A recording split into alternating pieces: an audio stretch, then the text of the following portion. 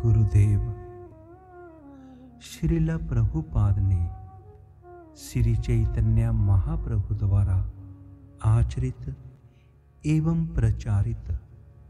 शुद्ध प्रेम भक्ति का प्रचार करने से पूर्व क्या तपस्या की?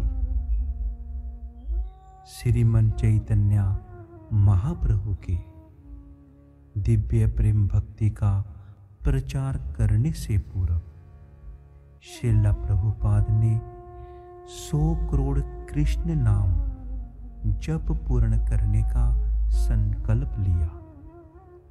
इस संकल्प को पूर्ण करने के लिए श्रीला प्रभुपाद ने श्री नामाचार्य हरिदास ठाकुर का अनुसरण करते हुए अपनी जप माला पर प्रतिदिन तीन लाख कृष्ण नाम का जप किया।